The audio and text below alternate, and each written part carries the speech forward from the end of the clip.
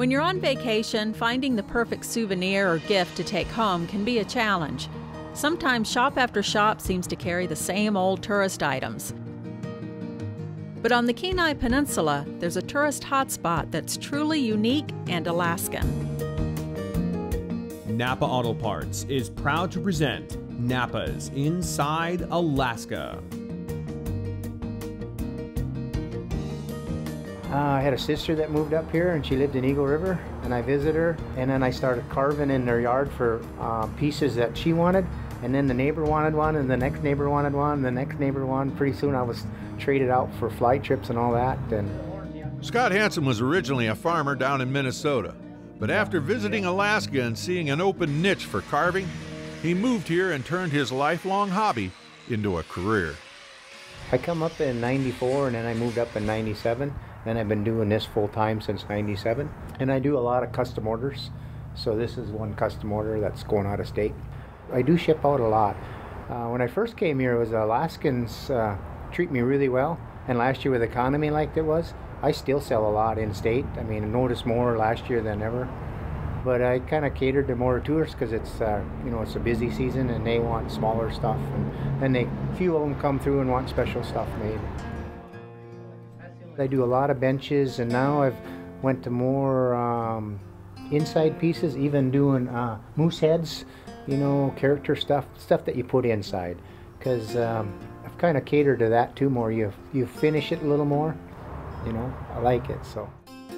Scott's Place has grown to include a large gallery and gift store, a carved and custom painted merry-go-round, and some of the best barbecue on the peninsula. but there's also a fun learning experience for families to enjoy. Uh, There's a trick to this. There's a trick to it. I'll get you started here. It's real heavy right now. I'll let you do some of this. How about because it? it's full of gold? It's full of gold and it's full of full of a. There's a lot of dirt in there. Yeah. Gold is about 18 times heavier than water. So if you take uh, uh, and it's about six eight times heavier than anything that's in here, the heaviest sand. If you put water in there and shake it back and forth, gold is going to go down and over to the deepest part of this dirt. So if gold is in the deepest part, everything on top is light sands we need to get rid of. And I, I've developed what I call an ATM move. Put your card in, remove quickly. See how that top layer of sand came off? That makes me nervous. You want to try it? All right. All right.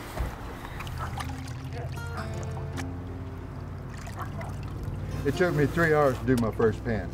And it Okay. looks like you're on schedule. I'm going to let you finish it. It's a matter of faith. If you know where the goal is, it's it's not a hard thing to do. right. See? So where is this gravel coming from? This came from an ancient stream bed out of uh, Cooper Landing. oh, okay. Uh, and see, the situation is the Forest Service has laws that I can't teach you how to do this at a mine or on the creek. They won't allow me to do it.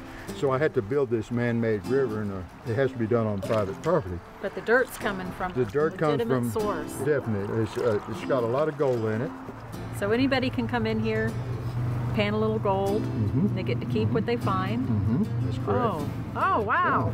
That's a legitimate nugget, isn't it? Yep. All right. Thank you. You're welcome. That was Thank fun. you. Right before you get to Soldotna, 90.1 um, on the Sterling Highway, and um, you can't hardly miss my place. People say they do, and I wonder how, but.